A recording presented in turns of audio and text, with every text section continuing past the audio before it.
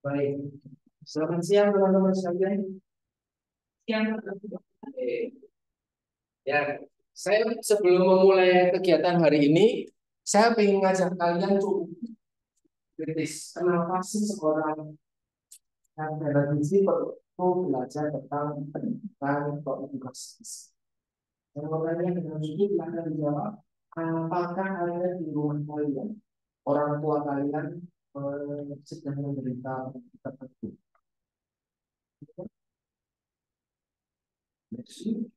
Ya semua. Oh, ada dua.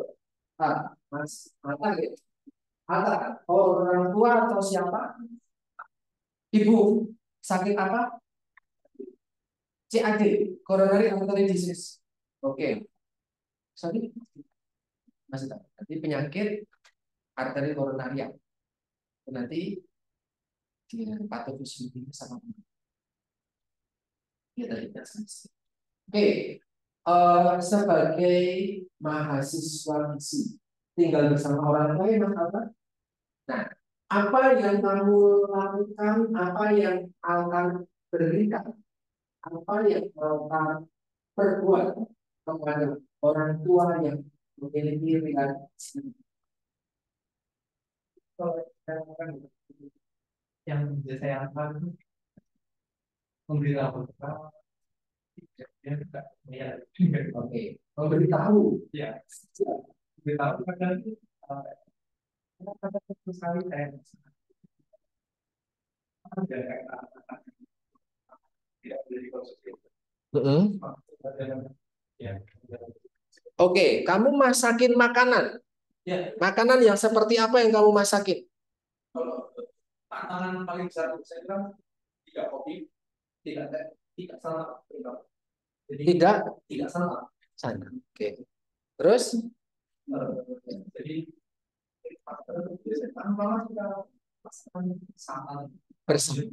Masakan saya saya hilang saya lebih sering masakan yang mungkin uh, base-nya itu atau So, Mas Altar memasakkan produk makanan untuk orang tua biar setidaknya progresivitas CAD-nya tidak makin parah. Memberikan produk, ya toh? Oke, kita simpan dulu. Ada lagi tadi Mbak Kinan ya? Saya sambil mengingat nama ya, karena gelap. Sekali bisa lupa. Oke, Mbak Kinan, apa? Oke, manusia tidak berpreferensi. Memang baik. Apa yang Mbak Kinan lakukan? Oh iya,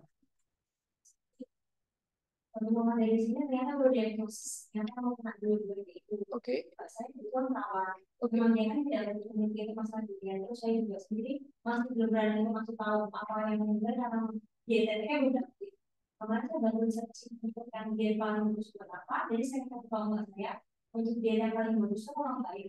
Karena ini kita ini apa yang diet gitu. Terus kalau dari mbak saya sendiri akhirnya mau untuk nasi nasinya diganti dia pakai nasi merah. Suruh makan itu benar kayak yang santan itu nggak boleh sama sekali. Terus juga untuk yang garam juga sudah saya kurangin mau nggak boleh diminum lagi terus yang makan sudah mau dikurangin tapi ya kadangnya masih oke. Okay. ya, tapi ada di rumah lumayan bagus so mbakmu di rumah dia juga memberikan menyediakan makanan tadi kayak altar ke orang tuanya. Kalau altar selain memberikan makanan nasi apa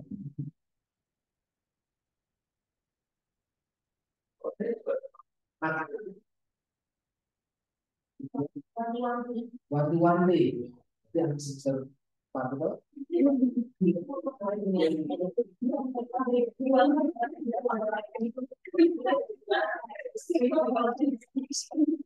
kenal? Saya pikir gak terkenal, ternyata kenal. Oke, saya masuk ke sebelum. Nah, saya dulu lama di 17. Nah, yang altar berikan, kinan berikan produk makanan dengan syarat ini, syarat itu, tinggi ini, tidak boleh ini, tidak boleh itu, rendah ini, rendah itu gitu tuh. untuk kondisi CAD, dari dan pembuluh koronernya itu ada sumbatan. Ada plak lemaknya. Bagaimana biar plak lemaknya nggak semakin banyak? Kalau bisa bilang atau hipertensi dan diabetes. Yang kamu lakukan itu akan kita pelajari nanti di diet Oh sakit ini maka dietnya ini begini, pengaturan makannya begini. Sakit ini itu semester depan. Itu hal yang saya lakukan juga sekarang ini. Kita ada penyakit, orang dengan sakit tertentu, oh kita tangani yuk. Dokter memberikan intervensi medis, perawat memberikan asuhan perawatan, gizi memberikan asuhan gizi. Nanti akan belajar semester ini juga oh, asuhan gizi. Nah, di dalam intervensi ketika kita menangani ketika kita menangani pasien, ketika kita menangani klien, ketika kita menangani komunitas tertentu, yang pertama kita bisa lakukan memang ngasih dia, memberi makan. Tapi ketika kita nggak lagi bersama dia, ketika pasien saya pulang, kan dia nggak selalu sama saya terus. Pagi hari sekarang tahu nih, makan tinggal makan aja tuh, berdoa tiba-tiba makanan datang dan diantar. Itu tuh nggak perlu ngapa-ngapain sudah dicuciin. Nanti siang datang lagi di dalam yang berbeda selama dia di dalam rumah sakit. Tapi kan dia nggak selamanya tinggal di rumah sakit dia harus pulang. Kalau harus pulang, apakah makanannya akan tetap sedia seperti di rumah sakit? Tentu enggak. Tak, orang tuanya enggak ngerti. Pasiennya enggak ngerti. Keluarga pasien juga enggak ngerti. So, intervensi adalah tugas. Kita ngasih pendidikan. Karena dia enggak ngerti, jadi ngerti. Kurangi garam. Saja garam. Enggak ternyata kita buka mengaduk garam loh. Kita ngasih edukasi bahwa bahan-bahan tertentu tinggi natrium juga. Kita ngasih edukasi. Loh kok masih ngeyel? Kalau ngeyel, asumsinya sudah tahu belum Mas Alta? Pertama kalau orang kondisinya CAD perlu mengurangi santan sudah tahu belum? Tapi melakukan atau tidak? Melakukan maksudnya ya ngikutin anjuran atau tidak mengikuti anjuran. Padahal sudah tahu Ya kan? Kalau belum tahu, biar tahu hasilnya edukasi. Itu kalian pelajari sekarang. Kalau sudah tahu, tapi ngeyel, sudah tahu, tapi nggak ngerti cara aplikasinya di rumah. Saya tahu kalau cara itu, ini bagaimana? Panjang sembilan, saya bangun dari ternyata. Karena diri saya nggak ada orang yang jual, nggak ada apa akses anda maka yang kita lakukan ketiga konseling so kalau pertama itu ngasih dia. Yang kedua memberi pengetahuan. Nah jangan yang ketiga setelah punya pengetahuan cukup.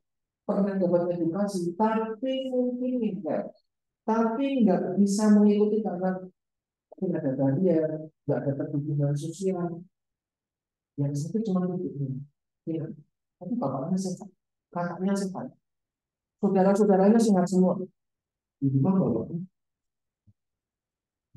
di rumah bapaknya makanan itu. Pak, mama nggak boleh makan. Kan maaf ya. Apakah sosial supportnya bagus? Apakah bisa disiplin ibunya? Mungkin. Tapi yang namanya diabetes adalah penyakit selama dia tidak berbadan. Seumur hidup. Sehingga mau nggak mau butuh kedisiplinan. Nah kalau kita berjuang sendiri itu berat. Maka butuh sosial support. Ternyata lingkungan keluarga nggak perlu. Ternyata lingkungan nggak perlu.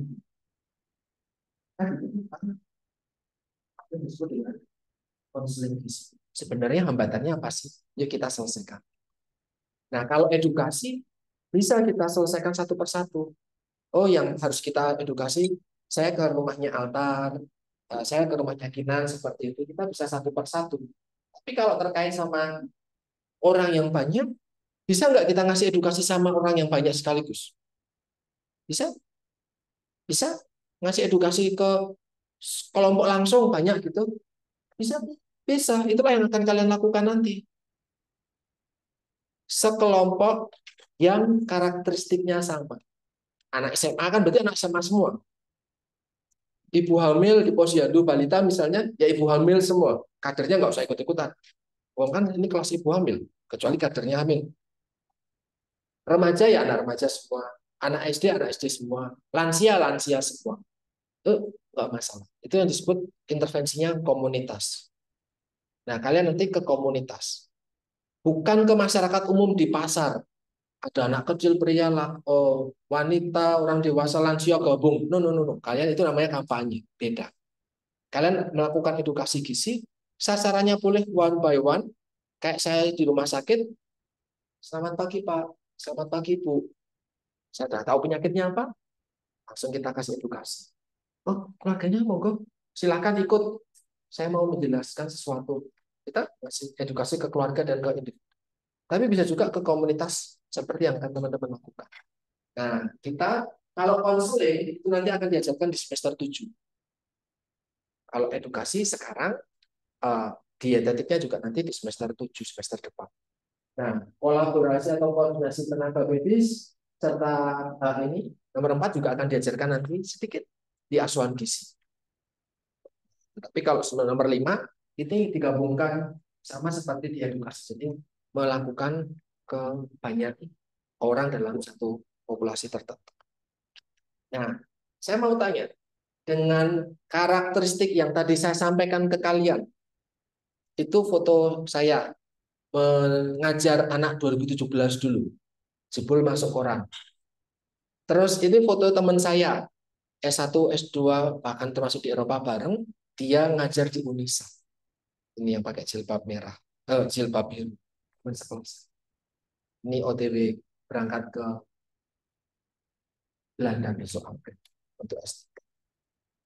Nah, saya mendidik di Stikes Pantira. Dia mendidik di Unisa. Apakah yang kami lakukan adalah edukasi gizi? Subjeknya mahasiswa.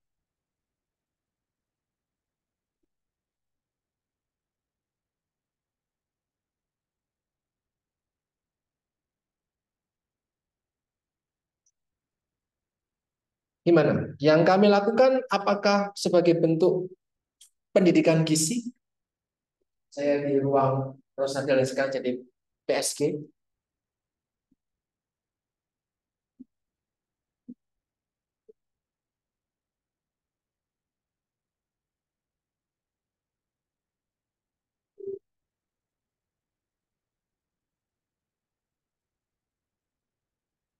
Ada pendapat? Apakah yang saya lakukan adalah pendidikan gizi?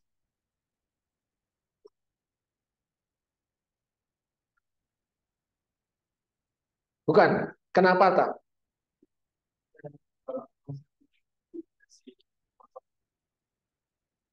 Yang saya lakukan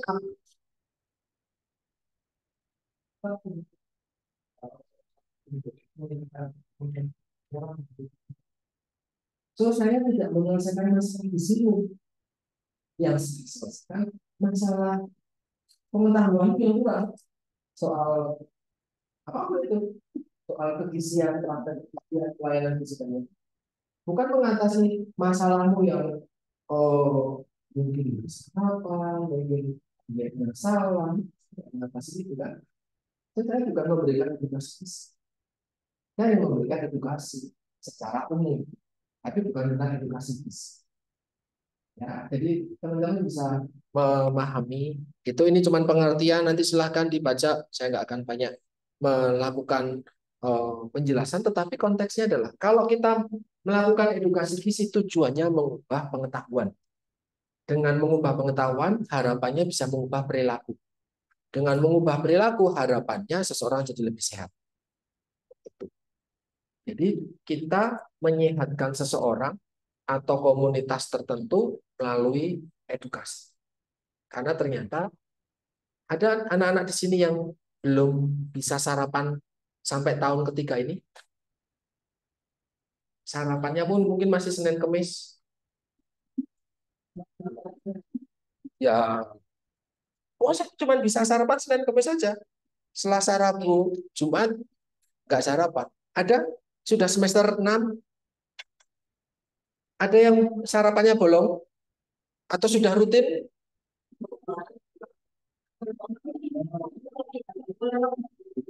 Kamu asrama tuh? Oh, Ada yang belum sarapan tadi pagi deh. Gila, nggak sarapan kamu segitu.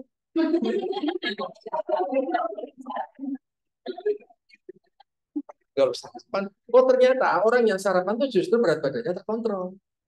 Justru ketika tidak sarapan berat badannya naik. Dan nanti kita diskusikan kalau ikut isu. Enggak, sorry ya. Nanti yang ikut isu akan dapat banyak materi-materi yang uh, saya berikan kalau saya diajak jadi pembicara di webinar. Jadi enggak ada mata Ya, tentang pengaturan berat badan dan yang Oke. Maaf ya. Oke, ternyata kalau sarapan. Nah, padahal bilang tahu toh kamu pentingnya sarapan toh, kecuali belum diajarkan ya. Saya sih belum nggak ngajari kuliah yang topiknya sarapan. Tapi kalau kamu tahu kok nggak melakukan kan berarti dia ngeyel. Nah, ini yang jadi PR kita. Bagaimana bisa orang bakal percaya kalau dia sendiri nggak melakukan?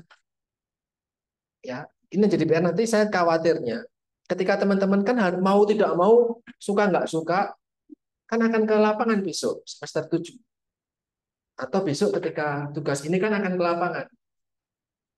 Eh yuk jaga berat badanmu misalnya kak nah ya kecuali kamu mau jadi contoh yang buruk sama contoh yang baik yang monggo aja ini kalau kamu menjaga dengan baik seperti ini teman saya ini maaf sampel yang error seperti.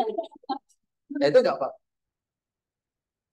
Itu jadi permasalahan karena orang akan melihat kita dari apa yang kita penampilan kita. Berhasil.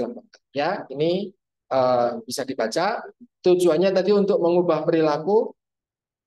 Terus kuliah saya akan banyak cerita. Kalian bisa baca itu. Nanti kita belum bisa. Oke, nanti kalau saya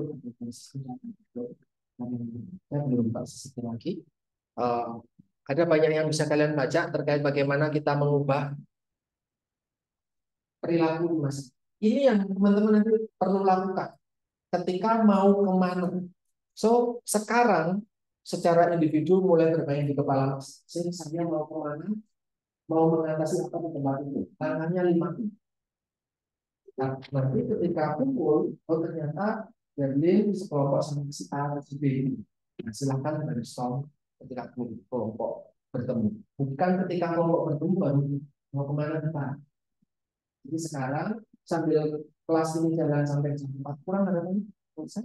Walaupun 31 selesai, kalian sudah nanti ketemu langsung bisa next mau ke mana ya.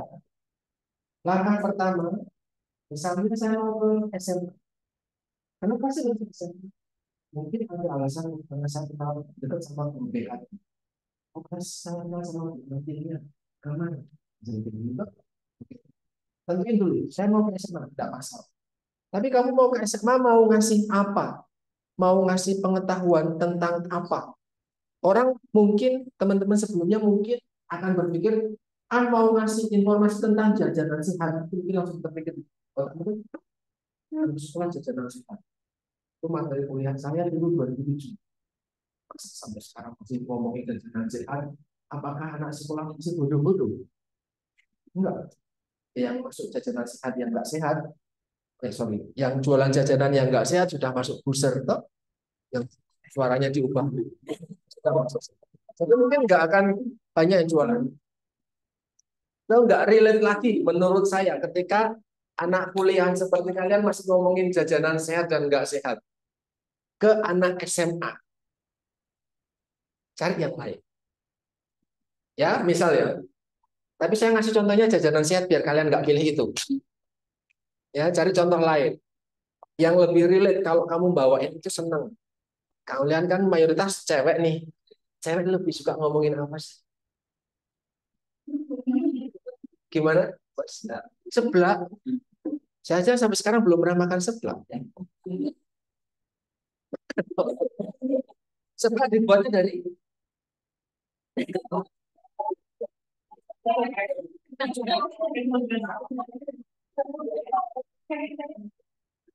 Sebelah itu dibuatnya dari kerupuk toh. Orang makan kerupuk mentah karena nggak bisa beli daging toh.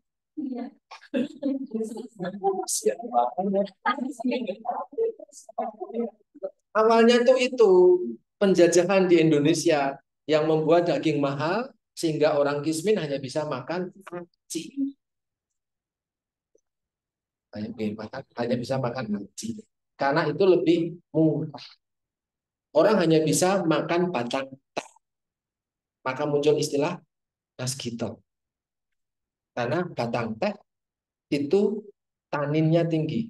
Kalau dikonsumsi sepet. Ya toh? Nah, tapi kalau teh yang bagus apakah batangnya? Namanya peko. Pucuk teh, tiga pucuk pertama. Itulah ada pucuk. Tapi teh apa? Peko Peko-nya di Indonesia, apakah dijual di Indonesia? Ya, diekspor. Kita bagian yang batang dan daun gede-gede. Harganya minta ampun. Mochi. Betul?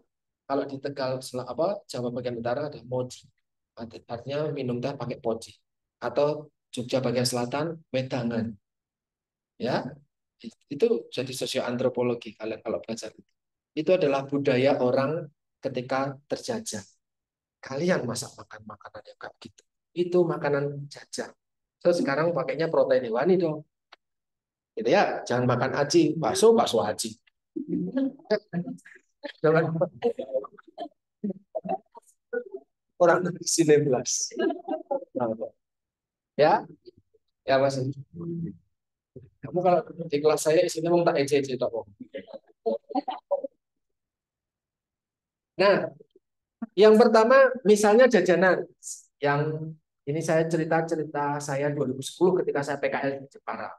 Ya, jadi biar kalian nggak mengulangi itu topik jajanan.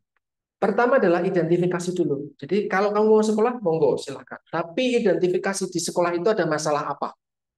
Bukan langsung guessing, aku mau ngasih materi tentang jajanan. No, enggak. Karena bisa jadi, kemarin Bu Guru sudah ngomongin itu, sekarang diomongin lagi. Kan berarti bukan jadi masalah di tempat itu mungkin.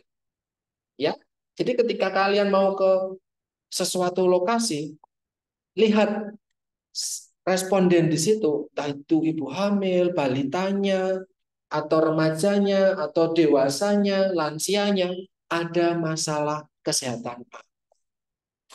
Apakah uangnya ngeyel-ngeyel? Sehingga perilakunya masih susah? So, itu selesaikan.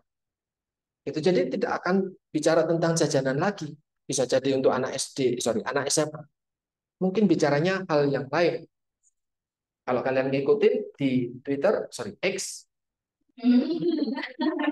Jakarta sekarang menjadi provinsi dengan angka eh, apa namanya eh, angka aktivitas seksual non menikah atau sebelum menikah eh, seksual bebas tertinggi di Indonesia misalnya. Itu kan sesuatu yang masalah kan seharusnya nggak kayak gitu. Tapi faktanya itu yang terjadi. So bisa misalnya tapi bukan buat teman-teman gizi nih. Teman-teman ilmu perilaku mengatasi masalah itu jadi memberikan intervensi based on problem. Clear ya? Jadi bukan menentukan intervensinya dulu tapi problemnya masih nyari Salah. Jadi ada masalah apa, selesaikan. Oh, di di sekolah ini harusnya jajanan sehat, ternyata jajannya adalah aneka macam aci, cireng, saya baru tahu tuh istilah cipu. Saya baru tahu tadi malam tuh. Karena untuk kelas ini saya harus belajar dulu tuh. Enggak langsung nyemplong. Cipu, pernah dengar?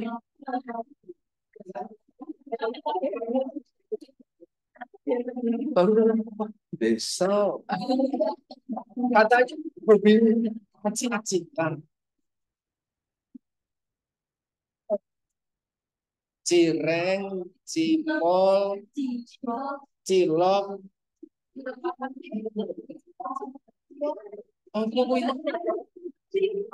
oh nah. tulang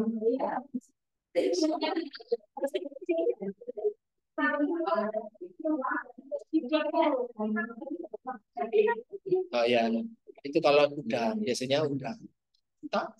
Biasanya udang yang di itu. Terus kamu makan tulangnya. Itu kan sampah. Cuman kamu disuruh buangin. Ya kan? Ya kan? Pedagangnya kan males buang tulang. Terus udah udah dijual aja jadi uang. Nanti pembelinya aja yang suruh buangin ke sampah. Tidak, tidakkah berpikir sampai sana? Kamu cuma disuruh buangin, bayar lagi. Nah, aneka macam cician tadi termasuk cipu. Kita baru tahu. Cipu itu aci kerupuk, baru tahu.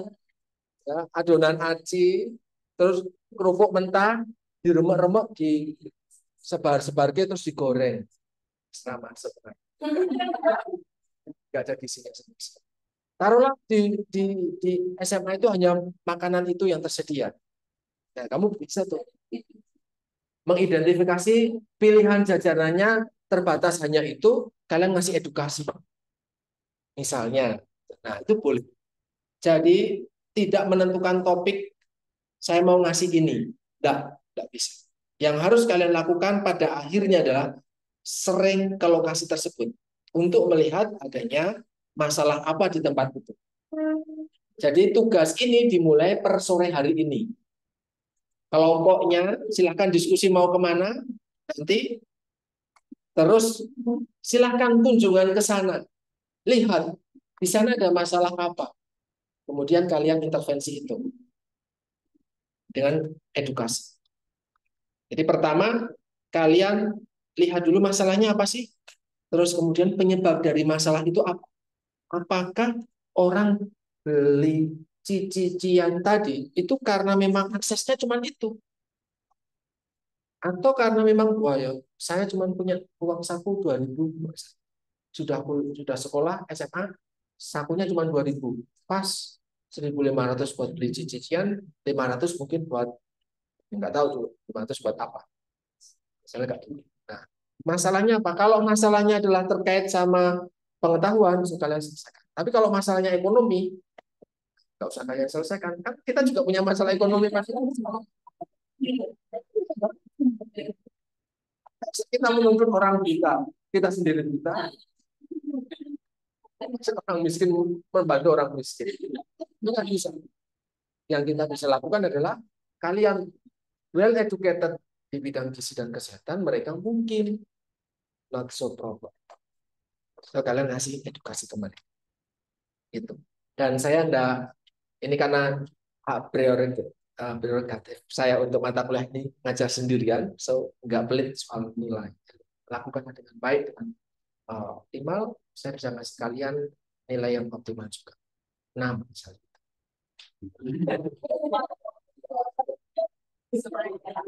Karena masih ada ujian masih ada yang lain. Oke. Okay. Kemudian setelah itu, sorry ini typo, uh, kondisi di sana seperti apa?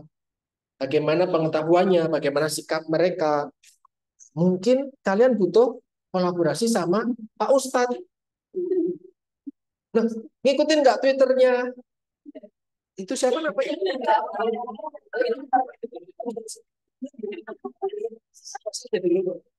Uh, Agim kita training tadi malam.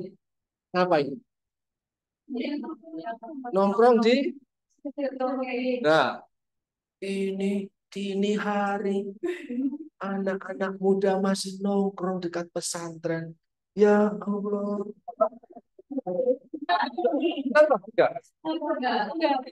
Cewek cowok dini hari masih nongkrong di Circle K karena baru tuh di tempat situ mereka saling nonton video, rokok semua gitu tak? Gak lama kemudian circle K-nya si segel. tahu, tahu ya, segel. Nah, kita libatkan tokoh masyarakat. Kalian kalau bisa sampai ngelibatin tokoh masyarakat seru itu. Saya langsung wah, setiap tahun harus ada prestasi toh. Tahun pertama dulu ketika saya kasih tugas ini ke mereka, oh pencapaiannya sekian. Tahun berikutnya ada pencapaian, pencapaian lebih bagus enggak nih? Nah, ini tahun ketiga. Sebelumnya bukan dihandle sama saya soal. Jadi just know aja. Saya enggak. belajar mata kuliah saya tak share aja. Tapi kalian ke dunia nyata. Ajak tokoh masyarakat, mau Pak Ustadz, pendeta, dukun, saya kasih ke dukun bayi.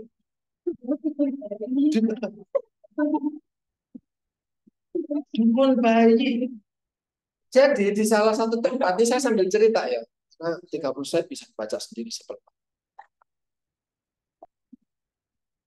Saya pernah ke satu tempat, kok angka partisipasi posyandunya sedikit banget.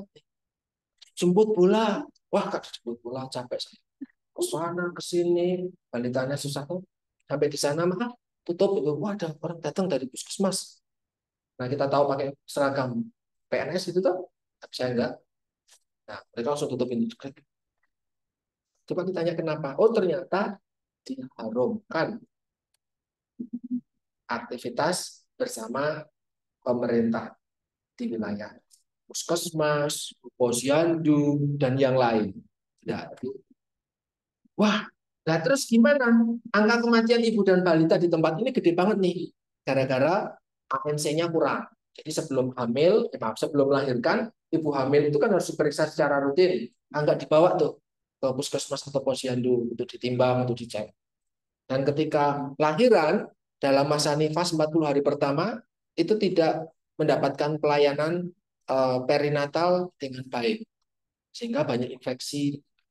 Oh, diketahui bahwa lahirannya milih di dukun. Jadi kan di film-film beneran itu ternyata ada dukun. Nah, dukun bayinya sudah moncer, sudah terkenal dari wah saya dapat ilmu dari ibu saya, ibunya sudah meninggal. Ibunya dapat dari neneknya, neneknya entah dari neneknya lagi gitu. Jadi itu garis keturunan dukun beranak. Ilmunya diturunkan. Anaknya makan ketika ibunya melayani persalinan. Nah, sekarang dia yang melayani persalinan, remah anaknya yang perempuan disuruh ikutin. Jadi dia tahu. Tapi dampaknya jelek karena infeksi dan yang lain. Sehingga bayinya mungkin lahir mati. Atau bayinya stunting. Atau ibunya meninggal karena nyobek lukanya mungkin cuma pakai pelat. Tahu pelat? Bambu. Bambu di tipis itu lebih tajam dari silet. Pelat. Atau bambu oh, besi cuma pakai dipanasnya di lilin doang. Ya memang itu. Itu yang jadi membuat So kalau hamil, puskesmas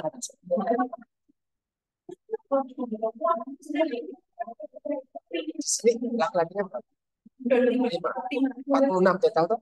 Maka ada 41 perempuan. Itu saya sudah mewanti-wanti. 41 perempuan dan 5 laki-laki. Besok kalau nikah. Besok kalau nikah. Oh, bukan ini sama ini.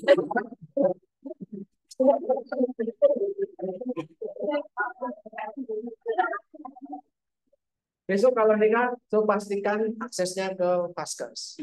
Jangan ke dukun beranak. Nah, kan harus dikasih informasi tuh. Tapi warganya nolak.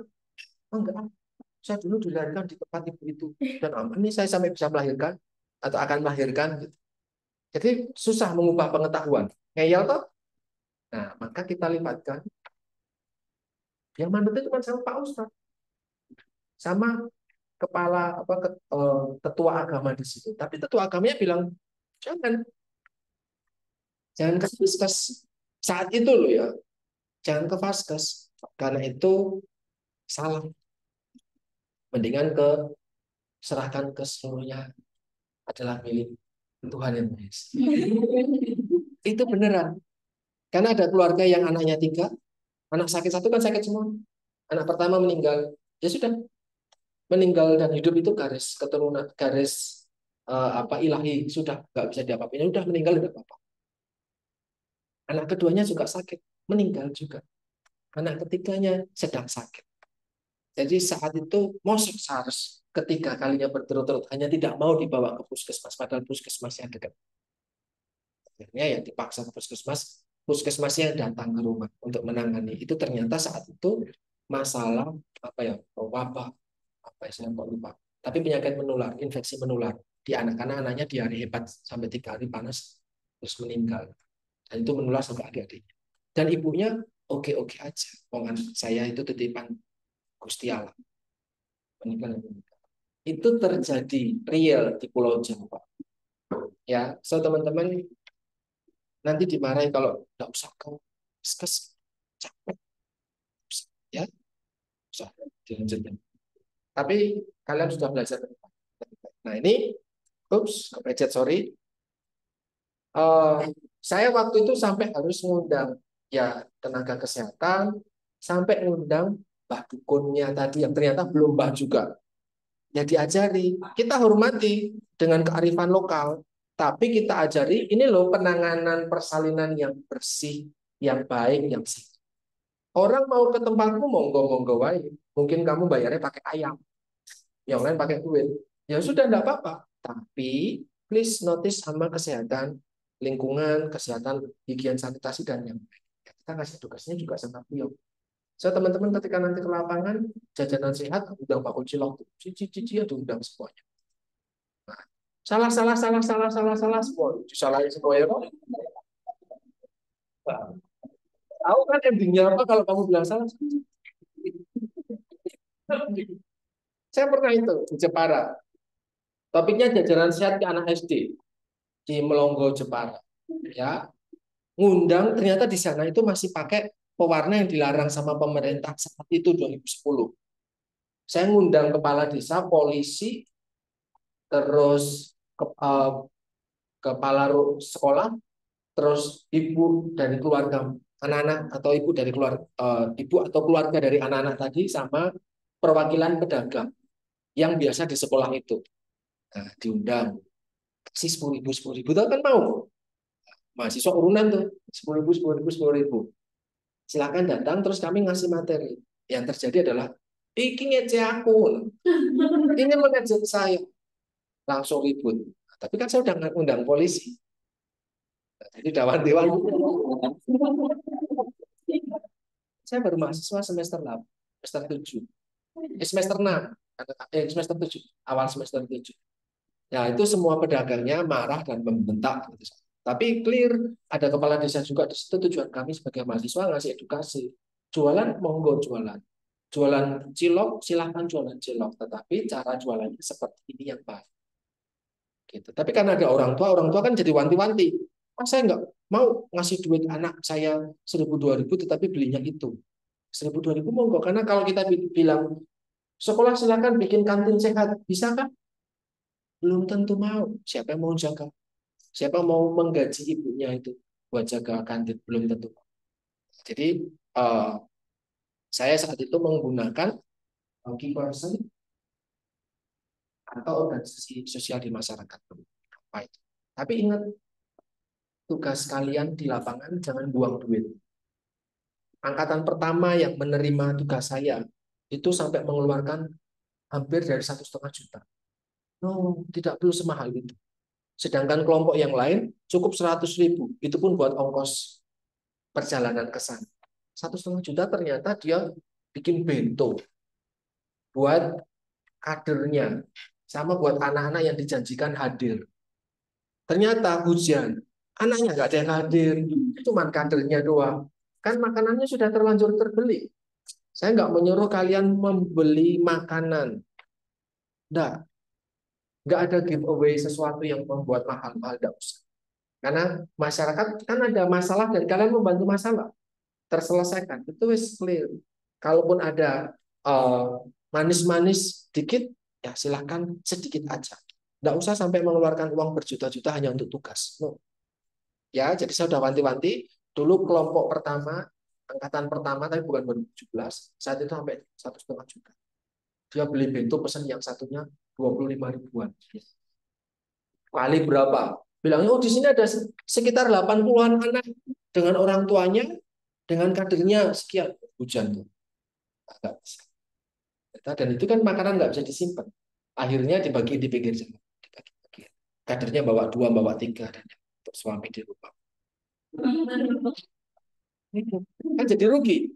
Kegiatan nggak jalan, rugi. Ini harus diulang, tetapi pengeluarannya jadi dibatasi. Itu karena makanannya sudah dilakukan kemarin. Lalu teman-teman sesuaikanlah sama fasilitas tenaga dan keuangan yang kalian punya. Tidak harus mengeluarkan duit banyak-banyak. Terus kemudian tujuannya apa? Silakan tentukan tujuannya. Dan ini SAP-nya. Uh, apa namanya poin-poin keyword untuk SAP besok yang kalian akan susun.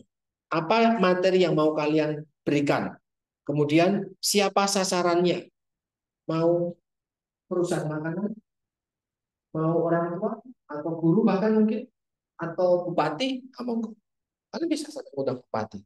Kalau bisa, eh, baguslah. Saya usulin nggak usah bikin skripsi, lah lulus tuh. Tapi ngundang bupati, mengubah kalau bisa. Kalau nggak bisa, ya nggak apa-apa. Skripsi aja. Kalau bisa, nggak usah skripsi. Sampai bikin bupatinya, oke, okay, nggak usah ada Indomaret di bupati uh, di kabupaten saya. Silakan kalau Oke, okay, leafletnya, eh sorry, baliho rokok nggak gede-gede. Kalau memang bisa. Siapa yang menjadi pendidik? Kalian. Edukatornya siapa? Kalian atau mungkin kalian mengedukasi kader bareng sama kader. Terus eh, pakai lokasinya mana?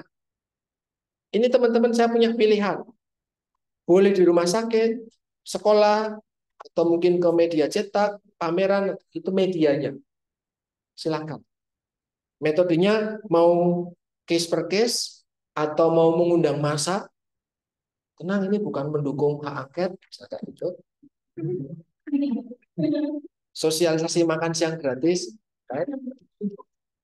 Atau nanti di kelompok masyarakat dan dievaluasi. Artinya, teman-teman silakan nanti bikin pre-post. Ketika datang, kondisinya seperti apa. Ketika setelah kalian selesai, kondisinya jadi seperti apa. Apakah ada perubahan atau tidak. Itu nanti yang dilaporkan di tugas ketiga. Ini yang disebut dengan evaluasi ada perubahan atau tidak. Misal, oh ternyata di awal suka cician, afirmasinya positif. Cilok itu kan sehat, ada kencurnya. Apakah e, bakso itu isinya kencur dok? Ini kencur kan cuma cepet kan? Kan tidak signifikan. Kalau mau ya udah bakso sama jamu kencur, beras kencur itu terus baru kembang, uh, kembangkan kegiatannya lewat apa pun itu silahkan. Kreativitas kalian masing-masing. Mau melakukannya berupa penyuluhan atau apa. Saya ngasih keyword. Contoh ini besok April 2024 ada Mbak Sinta sama Bu Wiwi dari Rumah Sakit Panti Rapih. Dia berdua akan melakukan edukasi secara online. Kalau saya nggak salah online. Untuk penyakit gastritis. Ada yang punya gastritis di sini mah gul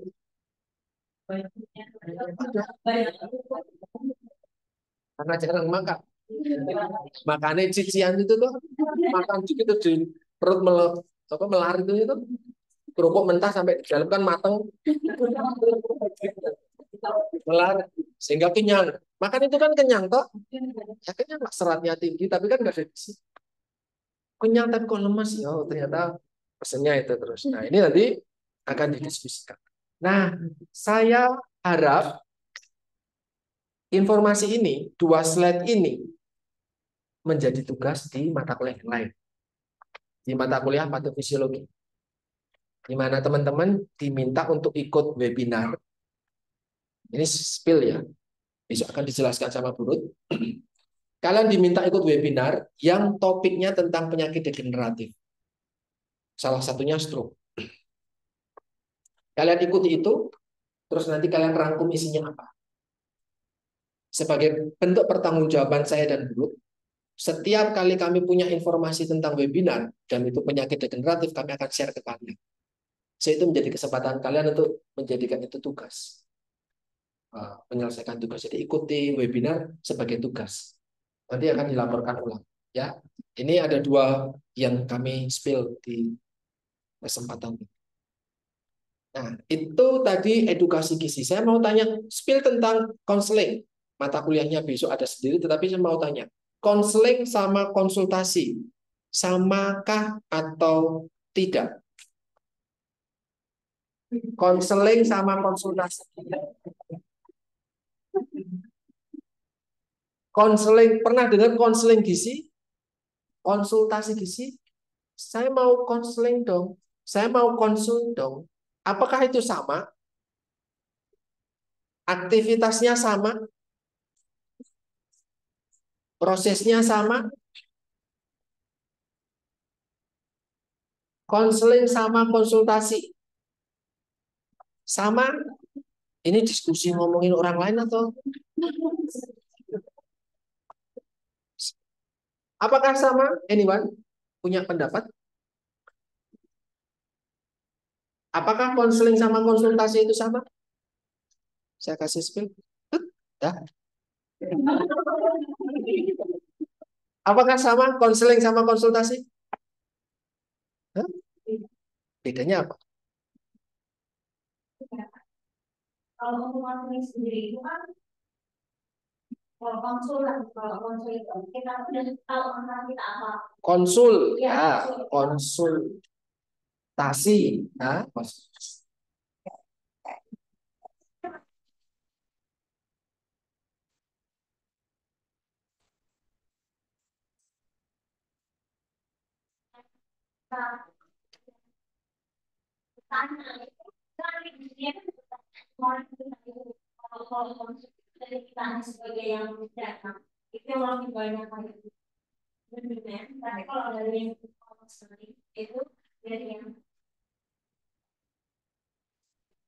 yakin sama itu Ya, aku belum. Bedanya konsultasi sama konseling. Tidak usah googling. Tidak usah tanya ChatGPT. Ayo sama orang. Hanya. Tidak usah googling karena kalau googling pak, nggak bisa di sini kan. Apa bedanya konsultasi sama konseling jika itu memang berbeda?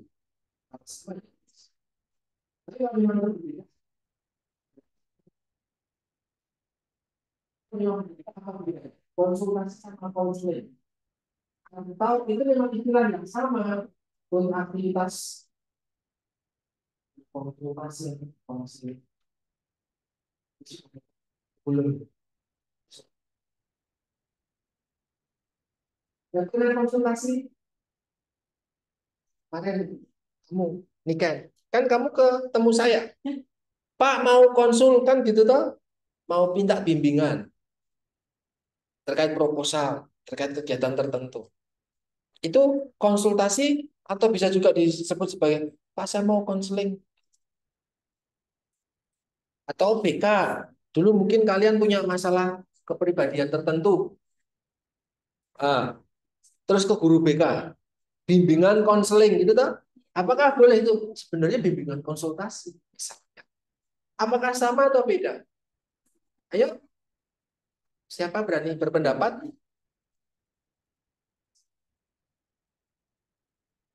Konseling sama konsultasi. Ya kita nggak salah kaprah nanti. Ada konsultasi gizi ada.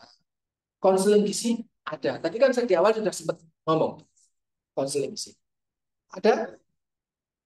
Alta? Beda. beda. Oke.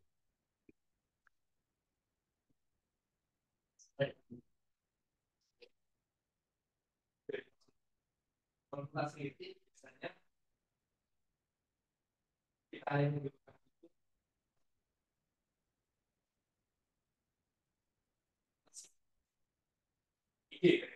konsultasi berarti kamu datang. Saya nggak nggak konseling saya misalnya saya buka masalah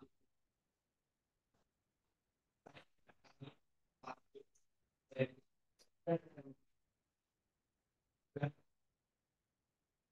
kalau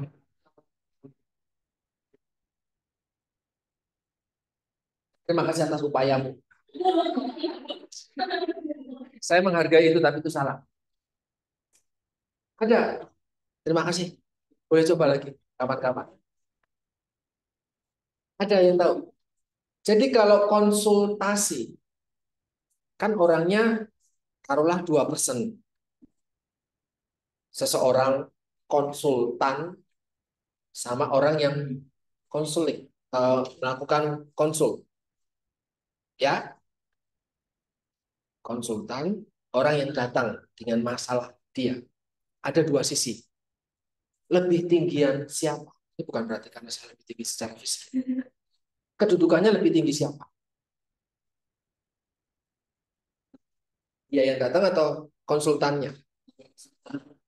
Konsultan kedudukannya lebih tinggi. Kamu sebagai orang yang datang, klien, kamu datang ke saya karena ada kepakaran saya yang kamu butuhkan. Clear? Mungkin cuma sekali, dua kali aja datang. 10 menit aja. Bayarnya mahal lagi. Konsul sih, mau konsul. Pak mau konsul soal ini. Oke. Jadi kamu yang datang, tetapi kedudukannya lebih tinggi saya. Karena saya konsultan. Saya pakar di bidang X misal seperti itu. Oh, itu konsultan. Sehingga kamu yang butuh saya. Tapi kalau konseling, dah. Konseling itu kedudukannya lebih tinggi mana? Konselor atau konseli? Kedudukannya lebih tinggi mana? Hmm? Kedudukannya sama. Saya, walaupun saya ahli di bidang X, saya tidak boleh lebih tahu tentang kamu. Kamu, walaupun kamu datang ke saya, saya butuh kamu. Kamu butuh saya. So sama.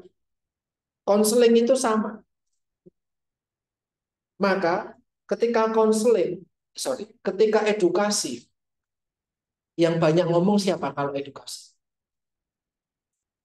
Yang banyak ngomong siapa? Pendidiknya atau pesertanya? Yang banyak ngomong. Yang ngomong. Tadi. Itu ketika edukasi. Tapi ketika konseling, yang banyak ngomong siapa? Yang datang. Saya sebagai konselor ngapain? Mendengarkan. Itu perbedaannya. Ya, ini mungkin uh, kecil sengaja biar kalian nggak bisa nyontek toh kecuali yang di zoom jadi edukasi Wah, ini konseling sama konsultasi dan ada satu lagi edukasi. Edukasi yang banyak ngomong adalah edukatornya. Sebagai komunikator dia banyak ngomong. Eh, tahu nggak sih kalau ini ini ini, tuh begini begini begini begini. G, kalian cuma G.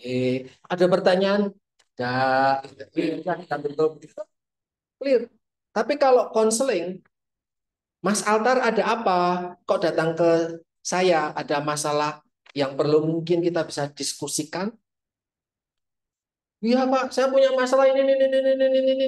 Sebentar, jangan dilanjutkan dulu. Saya tak ngopi. Bikin kopi, silahkan lanjutkan. Ini, ini, ini, ini, ini. Sudah, sudah. Oke. Yang memberikan solusi siapa? Saya atau dia solusi yang memberikan solusi saya ngasih solusi enggak ini konseling konseling. Saya ngasih solusi enggak Mas Altar kamu tuh harusnya begini begini begini begini. Kan ngasih solusi itu tadi. Gimana? Yang ngasih solusi siapa? Ini yang perlu yang perlu kalian cermati. Di slide saya nggak ada. So, kalau konseling, saya itu menjadi orang yang enak banget. Didatangi, cuma duduk dan senyum mendengarkan, ada masalah apa mbak? Ya tak? Menjadi orang yang nyaman buat curhat, gitu tak? Terus yang menyelesaikan masalah siapa? Dia sendiri. Oke, ada kalau saya saya punya beberapa solusi nih. A, B, C, D. Siapa yang menentukan? Dia sendiri. Kamu mau melakukan apa? A, bisa. Mau melakukan B? Bisa. Melakukan C, D? Bisa. Mana yang mau cocok buat kamu? Silahkan tentukan sendiri. Kalau nanti A, ya kamu lakukan aja A. Nanti paling risikonya ini ini. ini. Nanti datang lagi ke saya kalau sudah melakukan. Jadi enak banget tuh, bayar deh. Jadi konseling itu kita sebagai pendengar yang aktif, bukan pasif. Pendengar yang aktif, kemudian solusi datang dari dia sendiri. Kita hanya membantu asistensi dia, mendampingi dia saja. Sampai dia bisa menyelesaikan masalahnya. Kenapa? Karena dia sendiri yang tahu tentang kehidupan dia. Toh. Kita ngomong, eh Bu, kalau kondisi CAD ya harus kurangi santan. Oh, tapi di rumah orang suka makan santan. Yang tahu kan cuma kamu. Saya kan taunya cuma teori secara umum. Tetapi tentang praktikal di rumahmu, itu kamu yang lebih ahli. Nanti kalau ketemu pasien yang, oh pasiennya koleksi penyakit. DM, hipertensi, ginjal, ada juga jantung.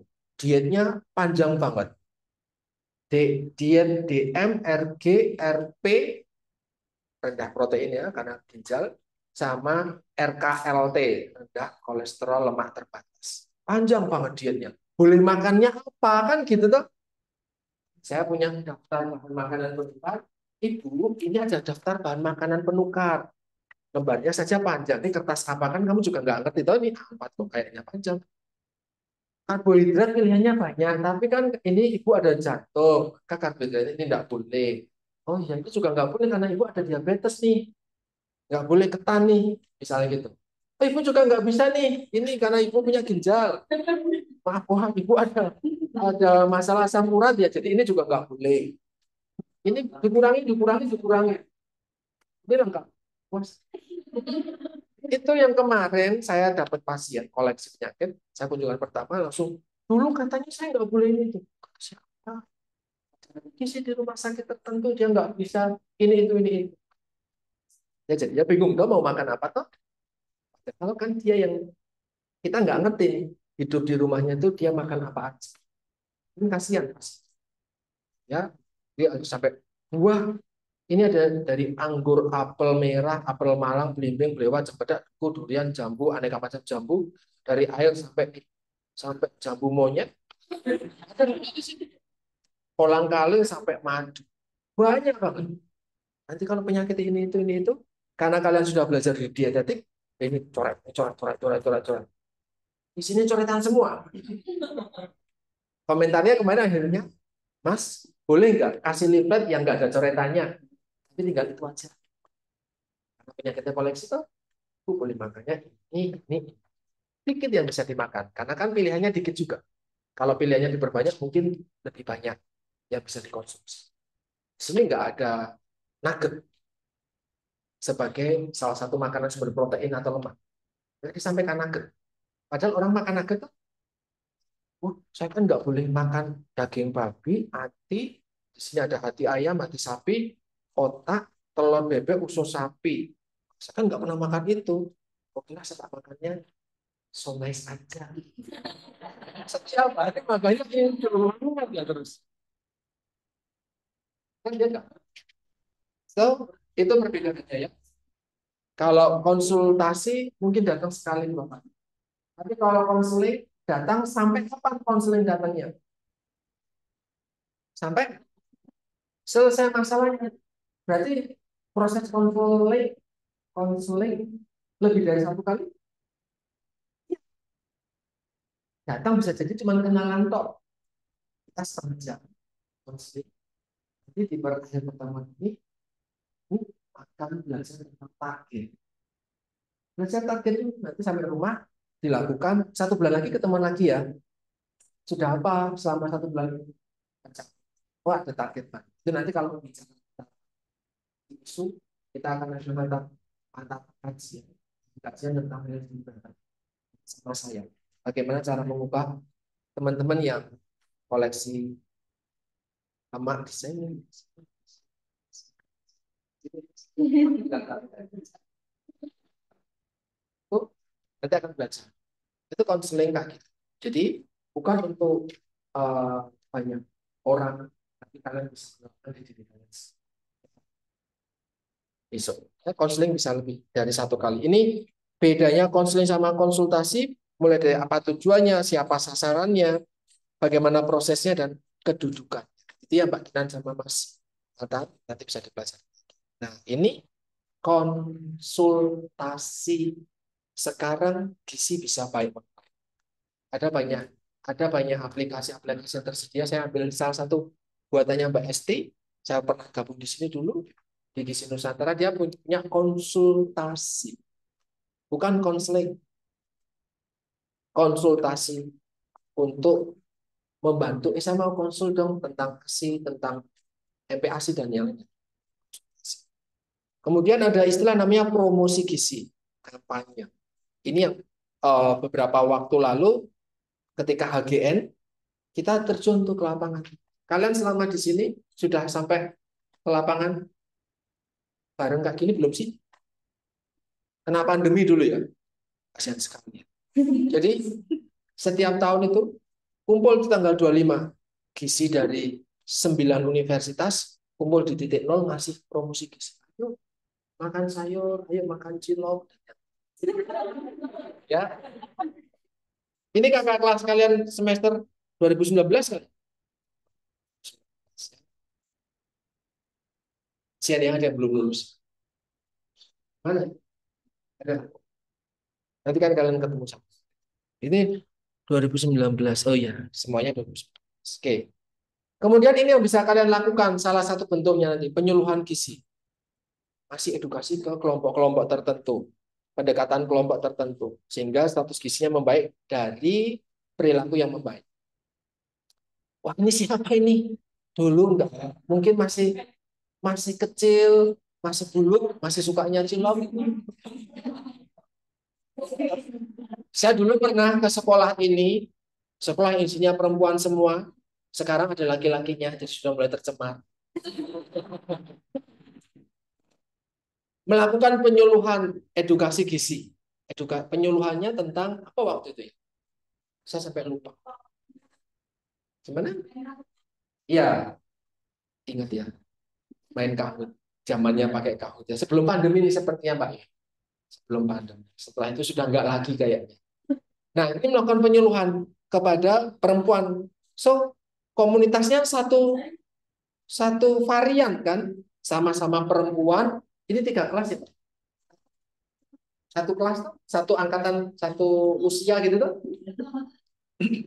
Maksudnya tidak kelas satu dua tiga bukan ya?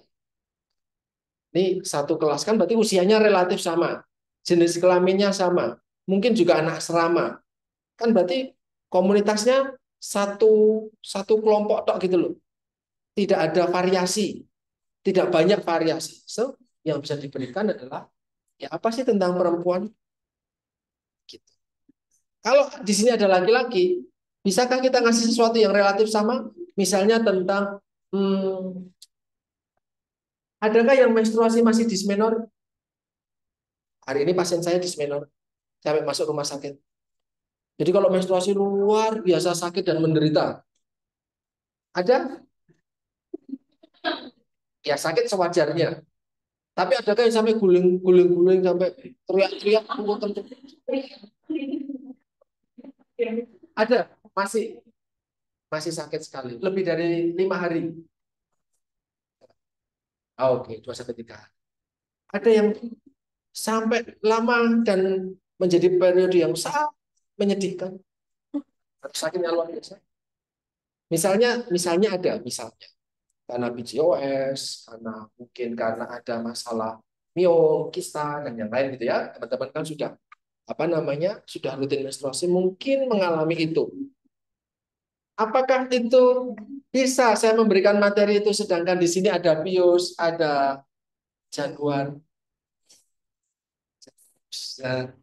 ada pius, ada rius dan teman-teman Apakah betul topiknya itu misalnya karena dia sakit, dia sakit, ya udah, yuk kita belajar tentang PCOS, polycystic ovary,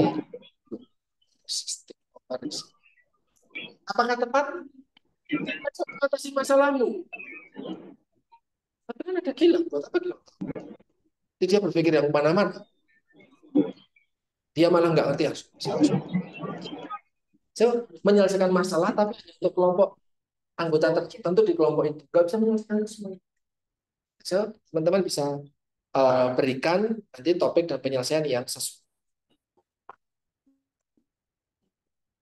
Nah, atau bahkan mungkin advokasi yang kalian sasar adalah pejabat, pengambil keputusan, pengambil kebijakan. Wah, saya mau ketemu Pak Prabowo, Pak.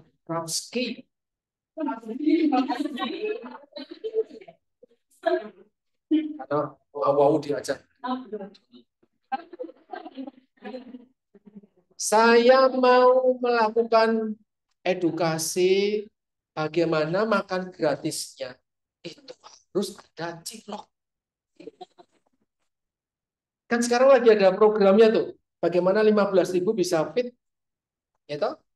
Kita aja 13.500. Itu belum sama air putih. Mungkin pas 15.000. Bagaimana biar itu bisa cocok di Papua, di Aceh, di Jakarta dan di Jogja harganya sama tapi kontennya sama. Itu maka yang kita lakukan adalah advokasi.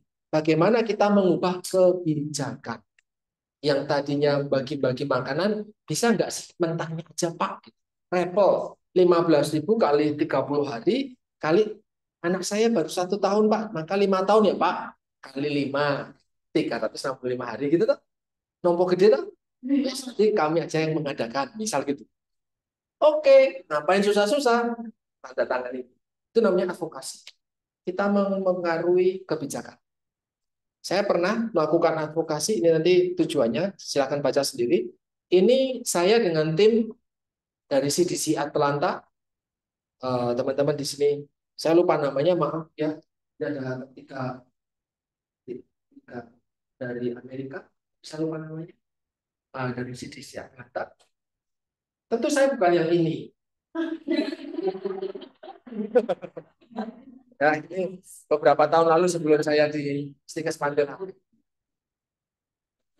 Maaf ya yang di Zoom nggak tahu kamu nunjuk ke mana, saya kan layar. Nah, saya mengadvokasi saat itu Bupati, ada dari Gunung Kidul? Oh kamu. Gunung Kidulnya mana Mbak? Klien. Saya ke sana waktu bupatinya bupatinya. Sekarang sudah ganti kan? Sudah. Waktu itu masih bupati. Oh, saya juga ke pelayan, pelayan pelayan Bundaran Siono. Ke situ. Indomaret.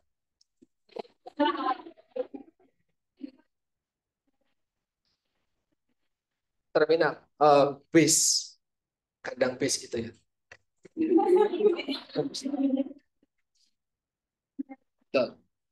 ke barat yang nanti ada rumah paranormal itu kayak rumah paranormal itu di kiri jalan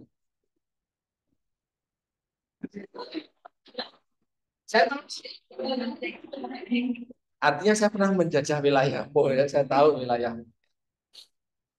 nah itu saya juga ke Bupati Bagaimana caranya anak di Gunung Kidul itu tervaksinasi PCV? Karena ternyata 6.000 anak yang saya swab, jadi waktu itu belum nge-swab.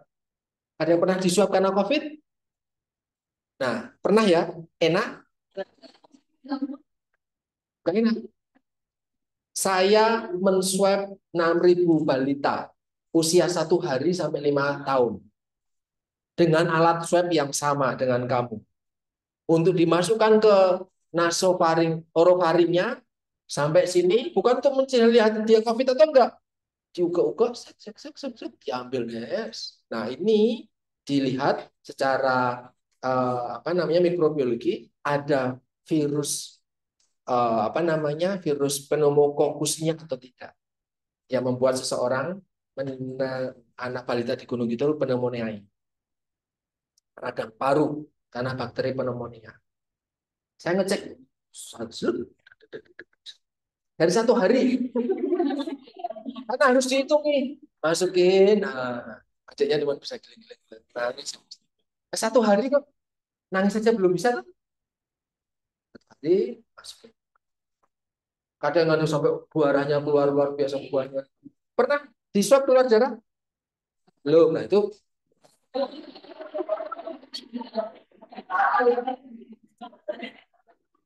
Tapi sudah bisa bayangin toh swab seperti apa sensasinya sampai mata berair, padahal kan nggak nggak nggak sakit. Nah itu kalau kalian sudah dewasa di bawah eh, apa namanya eh, oro kalian, hidung kalian itu tulangnya sudah menyatu.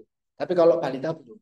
Jadi dia masih kalau ketika kena bulu halusnya alat swab itu dia masih bisa ring gitu, pecah atau apa. Jadi darah juga sering keluar.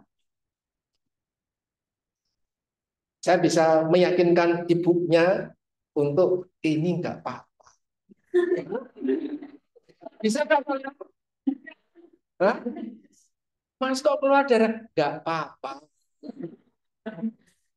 Usia satu hari loh, baru lahir kemarin minggu, nah Senin ini di swab cuma dapat oh saya nggak bawa Jadi, kalau saya pakai anduk merah atau warna anduk yang sering saya pakai itulah giveaway untuk mereka saya hanya ngasih anduk sama susu. Ultra. Anduk susu sama apa waktu itu? Anduk susu sama oreo. Ah gitu. nggak ada sepuluh ribu. Ada saat itu. Wah senengnya minta ampun orang gunung gitu. Dapat itu. Senengnya minta ampun. Tapi tapi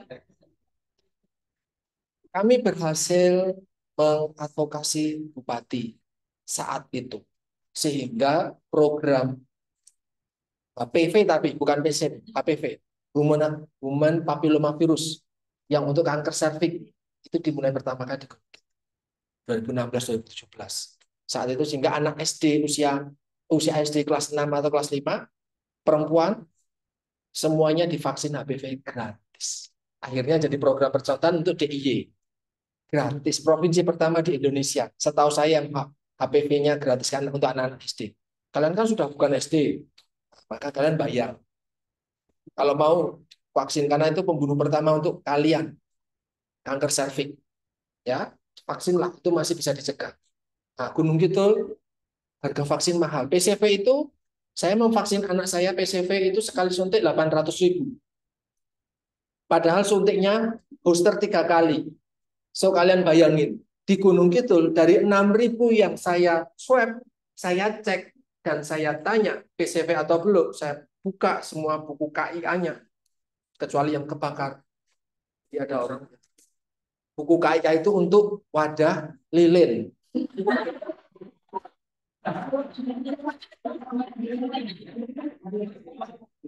Ngece. Ketawanya paling keras. Tandai, Mbak. Bu, ada buku KIA. Tapi, Mas, enggak apa-apa. Ada. Ada, tapi Lagi ambil kan. Tinggal separuh. Separuh benar-benar separuh. Waktu itu saya foto, tapi saya nggak tahu fotonya di mana. Jadi tinggal separuh. Separuhnya ya bentuk segitiga itu. Tinggal segitiga. Bu kok jadi kayak gini? Semua catatan ini cuma bisa dilihat ujungnya. Cuma segitiga gini. Karena semalam atau kapan itu mati lampu, nggak ada. Wadahnya, nggak ada piring. Saya langsung ngambil buku. Lele, nah, lelenya habis toh. Habis. Sudahlah juga bukunya. Catatan-catatan nggak ada. Itu cukup begitu. Kali waktu itu wes wes wes. Minta ganti. Gantikan. Nah itu kalau kalau kalian nanti ke lapangan akan menemukan banyak hal yang lucu. Tapi mau gimana lagi? Awarenessnya kan kurang. Merasa itu apa sih bedanya sama buku coret-coret yang lain? Nggak tahu. Untuk keluarga tersebut gitu ya. Maaf ya mbak. Itu nggak di pelayan kok. Saya kok saya kok banyak tempat tapi bukan di pelayan yang kasus gitu nah gitu ya. Jadi uh, dari 6.000 hanya tiga yang mendapat vaksin PCV dari 6.000 dan tiga orangnya. Ini ternyata setelah dikaji dapat PCV-nya tidak di DIY tapi dia pindahan dari Tangerang dan Jakarta. Artinya dapat dapat informasi itu di sini Dia orang dari sana dapat di sana kemudian suaminya pindah maka dia ikut pindah. So statusnya dapat PCV? Ya, tapi tidak di sini. Artinya 5.997 tidak ada yang dapat PCV. Jadi dapat PCV cuma tiga. Apa pentingnya PCV? Anak kecil sekali batuk nggak selesai-selesai tuh sembuh seminggu dua minggu besok batuk lagi batuk lagi batuk lagi panas dan yang lain. Itu bisa jadi karena pneumokokus tadi. Dan orang di Gunung Kidul, Bali tadi saat sana ketika saya swab, kemudian dicek, hampir 100% ada bakteri pneumokokus di orofaringnya mereka. So tinggal nunggu kapan dia stamina-nya kurang atau imunnya rendah. Dia akan batuk, batuk pilek dan mungkin ya nggak sembuh-sembuh. Nah, itu misalnya. Pilek batuk pilek seperti Nah, untuk anak kan jadi masalah itu infeksi. Makanya banyak di sana yang kena infeksi terus kemudian pertumbuhannya kurang optimal, pendidikannya jadi kurang optimal dan dimulai dari itu. Sekarang PCV masih berbayar. Nah, ini kami dengan CDC Atlanta mengembangkan vaksin gratis. PCV gratis. Jadi 800 ribu kali tiga bisa diberikan secara gratis di Gunung Kidul dan di Sumba. Ini proyeknya dua kali, dua tempat. Ya, saat itu di sini. Ini mempengaruhi Bu Bupati sama Bapak Wakil Bupati seperti itu yang hadir. Nah, yang terakhir adalah mungkin tahu tentang informasi gizi. Mungkin tahu bagaimana cara masak berbasis air, Mas Alta. Tapi caranya nggak ngerti, cuma sekedar tahu. Maka dilakukan pelatihan. Kalian bisa melakukan pelatihan kalau kalian. Jadi tidak hanya ngomong, ayo Bu, bikin MPASI dari ikan lele ikan lele bagus ini. Caranya bagaimana? Lele digoreng. Kasih bubur, wes sampai sini lagi. Orang kasih kan. Nah, maka dilatih. Ya kan? Karena kan kita cuma ngasih tahu, ayo makan protein hewani, kan gitu. Besok panitia seminar di sini tuh, yang angkatan ini tuh panitia seminar, bukan ya? Oh, ada kelas ya. Oh, bikin uh, produk hewani kan gitu katanya tuh. MPASI tuh MPASI berbasis lele, berbasis ikan mujair, kayak berbasis wader dan yang lain. Tapi nggak diajari caranya mengolah. Ya udah beli ke SS, pesan wader goreng, kasih bubur, campur udah aduk-aduk MPASI dengan wader. Rice. Maka perlu dilakukan pelatihan. Termasuk saya uh, bersyukur uh, dilibatkan untuk melakukan pelatihan bagi dosen, alumni gizi, dan tenaga gizi di rumah sakit se-Indonesia secara rutin untuk mengajari bagaimana NCP yang baik. Ini yang akan teman-teman dapatkan juga materinya nanti di kuliah. Jadi kalian nggak usah ikut pelatihan ini, ikut kuliah aja di Stikes Rapi for free. Dapat ya, bayar sih. materi yang saya berikan di pelatihan ini saya ajarkan kalian di mata kuliah nanti itu pelatihan ya. Itu teman-teman sekalian yang saya bisa berikan ke kalian di uh, pertemuan perdana ini.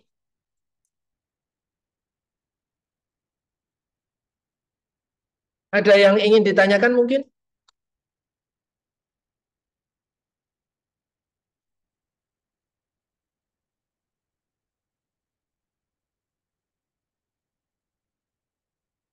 Ya, bisa dipahami. Wah, maaf ya, 4 lebih 5. Jatahnya 4 lebih 10, toh? Iya. Oke. Banyak cerita, toh. Itu tugasnya tadi ada tiga. Kalian silakan bikin kelompok, tentukan mau ke mana.